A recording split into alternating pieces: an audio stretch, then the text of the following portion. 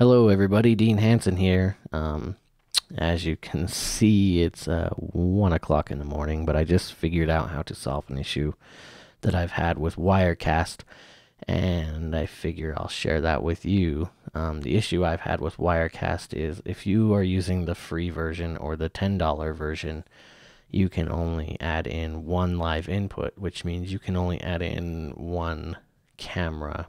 Um, I've found a little workaround where I can add in two cameras without upgrading to the $300 plan. And this works pretty well. Um, it might not be exactly ideal. You still cannot layer video on top of video like I'm doing with ScreenFlow right now, but you can add in another live camera.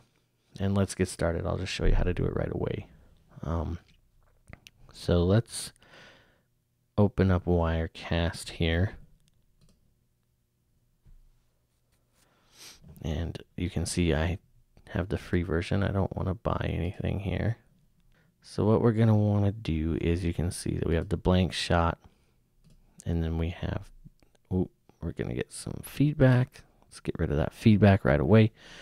All right, so we have the the camera one, which is that camera there. Um, I would also like to add in another camera, and the problem is if you have the free version, when you try to add in that camera, it will bring that camera 2 in, but it will not allow you to have both cameras running at the same time. Um, it'll automatically switch you over to camera 2 and everything, every video input you have will switch to that one camera. So we want to have two separate camera inputs. So here's what we're going to do. So what you need to do is you need to go to the App Store and download Dwayne Cam. Now any camera app will work. This is free. Um, but basically what it does is it just shows your webcam.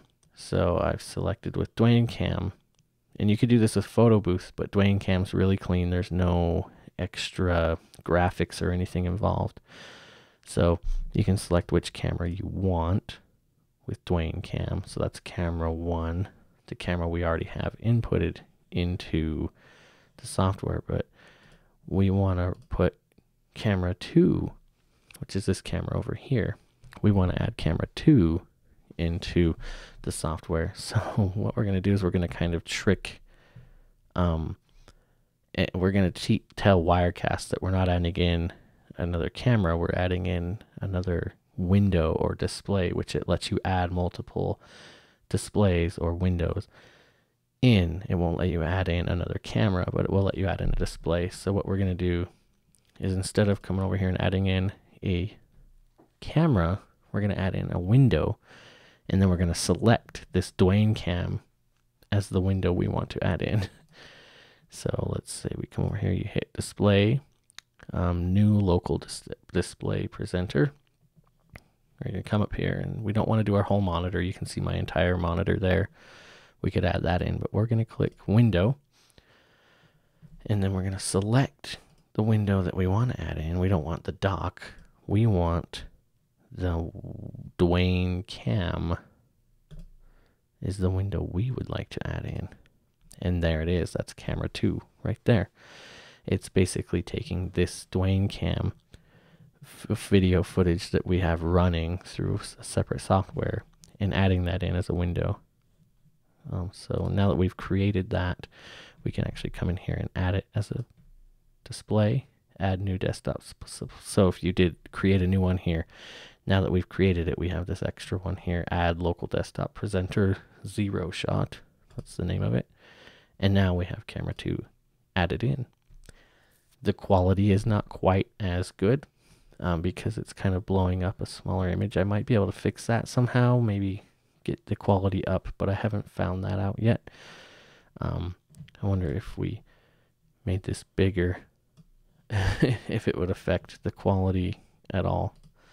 Um, but so now we have camera one, which is just added in as a camera input. And we have camera two added in as a window input.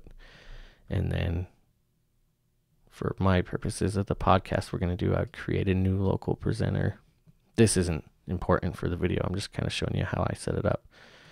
And then I would select window again and I would select my browser and click OK. And this will be another presenter we can add in would be remember this zero shot is the one we just created one shot is the browser we created here. So now we have the browser um, created. So that's just my browser over here. So now we have you know camera one camera two and the browser.